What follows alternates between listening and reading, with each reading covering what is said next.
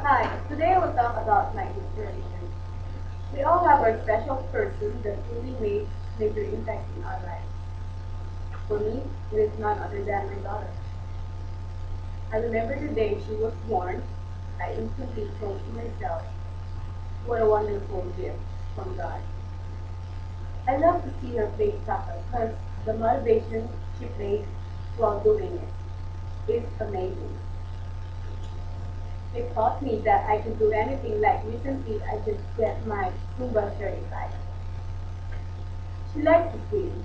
Her fearless of water taught me to have determination to learn how to wakeboard. Her of sports teach her to become a better person. She is too humble to let praise go to her head. She is obedient that she does everything first time she is asked.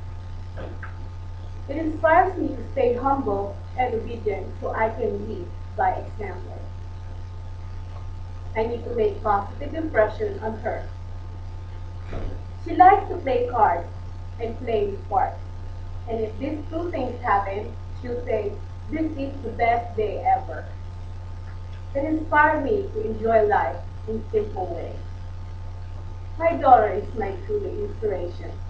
Her tireless energy, positive attitude, and satisfaction is infectious in a good way. I'm such a proud mom and so lucky to have her in my life. Thank you.